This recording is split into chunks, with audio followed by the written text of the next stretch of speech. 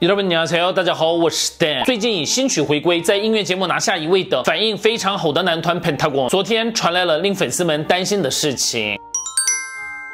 昨天，Cube 娱乐官方表示，成员永文在九日凌晨结束行程返家途中，遭到酒驾车辆追撞，事故后马上移送到医院接受了治疗。原本当天应当要回家休息，但是因本人强烈希望出演当天下午的直播行程，而忍痛参加了该直播节目。但是在节目结束回宿舍的时候，腰部突然出现痛症，再度接受了医院检查。艺人的健康与康复是最优先的事情，永文将会停止所有活动，全心集中在治疗上。我不是喷泰国粉丝，都觉得很上火，是哪个狗家伙呢？疯了，酒驾就是预告杀人。跳舞的爱豆腰受伤的话怎么办呢？烦死了，时隔十个月的回归，本来想多看点孩子们活动的呢，十八酒驾家伙。交通事故的话要非常小心后遗症，希望你们能好好治疗，管理好身体。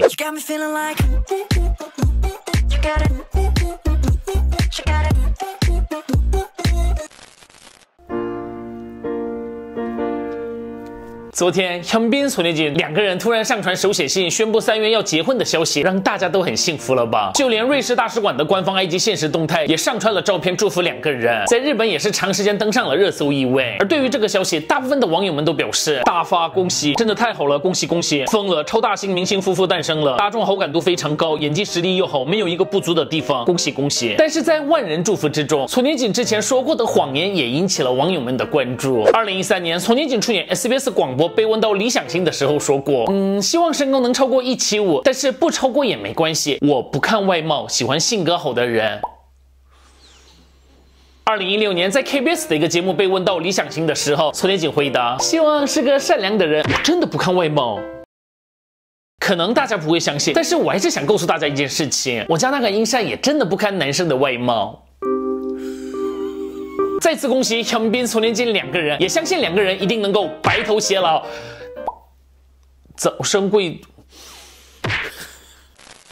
接下来我们来看一下将以歌手回归的苏吉。二月十号，苏吉的所属公司对外声明，时隔四年，苏吉将在二月十七号发表首位单曲《Satellite》，而苏吉本人也参与了这首歌的作词，目前也公开了预告照片。因为苏吉在二零一九年从 JYP 搬到演员专门经纪公司，很多粉丝们都担心以后会不会再看不到唱歌的苏吉，没想到这么快就有了歌手回归的消息。哦，苏吉音色真的很好，好期待，应该不做 dance 歌手了吧？早就感觉到苏吉热爱歌手活动，所以会一直出专辑的。苏吉啊，发表一个跟贺喜一样的 dance 歌曲吧，一定能吞掉音乐界的。非常期待苏吉的新歌。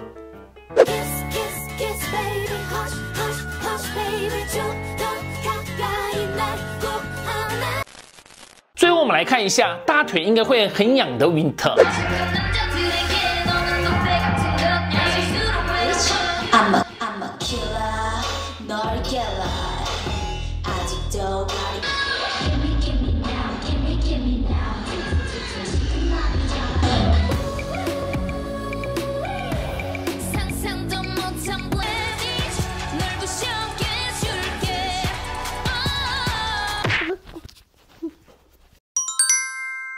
好的，今天的影片就到这里，我们下支影片再见，拜拜。